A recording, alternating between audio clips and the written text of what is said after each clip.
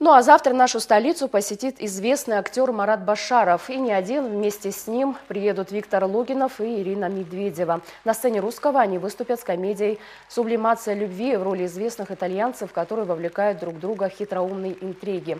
Успешный депутат парламента Лаоне Саваста увлекся красивой писательницей Паолой. Зрителей ждет множество комичных ситуаций, которые не оставят никого равнодушным. И, конечно, после премьеры смотрите эксклюзивное интервью звезд российского кино кино и театра только на РГВК «Дагестан».